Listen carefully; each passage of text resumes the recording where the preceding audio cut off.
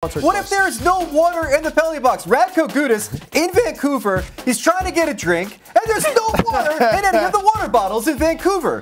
Personally, I think that should be a two-minute penalty on the home team. I wish he was mic'd up to hear what he says to the penalty box attendant there. You can see him mutter something. I played with Goods too in Tampa, so